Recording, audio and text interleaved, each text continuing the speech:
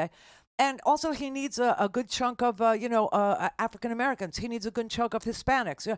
And this racist thing that he's been, you know, doubling down on lately, um, it's so weird in that he's going to alienate those who may have, especially black men, who may have been willing to vote for him, but now will not because rule number one defend the sister and he is attacking her racially, and that ain't gonna fly.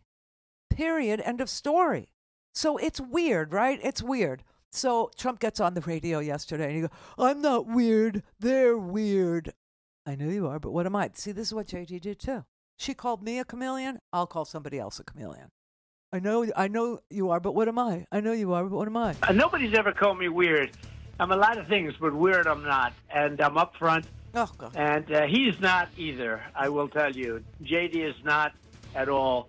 Uh, they are. It's They always are. soundbite, and the press picks it up. You notice uh, the the evening news. Every one of them talk. You know, they they introduce the word weird, and all of a sudden they're talking about weird. No, we're not weird people. We're we're actually just the opposite. No, you're lying weirdos, okay? You're cheats, you're frauds, and you're weird in that you attack the people whose vote you need the most. That's strange. Strange equal weird. Don't have time to listen to the live show? Want to hear more on your schedule? Go to randirhodes.com and buy a stinking podcast.